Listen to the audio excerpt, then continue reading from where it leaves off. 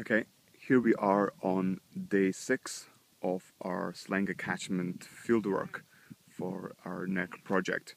Um, we're collecting water samples for silicon isotopes and phytoplankton, um, and also we're doing some lake coring as well. Day six, things are getting rather uh, getting quite tough in the field, at least for me anyway. So here we have our little field set up. We're actually now sort of halfway up the Selenga catchment on towards the Mongolian border, quite close to Lake Gusinoye. Oh, there we have uh, Sasha, who's just going down now to wash our dishes in the river. Over here we have uh, Pasha, who made uh, the strong man of the team, who uh, made the fire this morning, etc.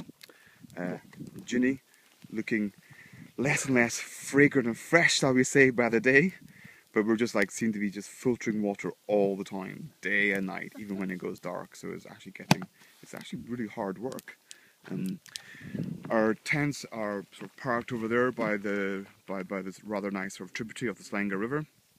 Um, but as you can imagine, because it's quite close to water, the mosquitoes here are just an absolute uh, uh, nightmare.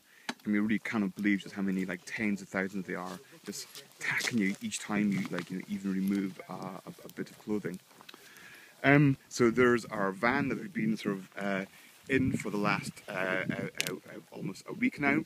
So the van is completely packed out. We're kind of just lying on top of tents, lying on top of rucksacks as we, as we travel hundreds of kilometers distance every day, really. And that is when we're not ob obviously, obviously camping.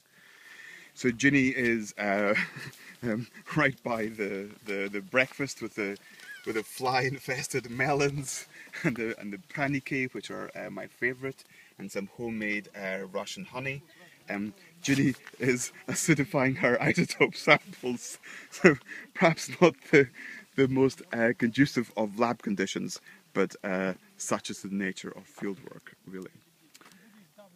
Over and out.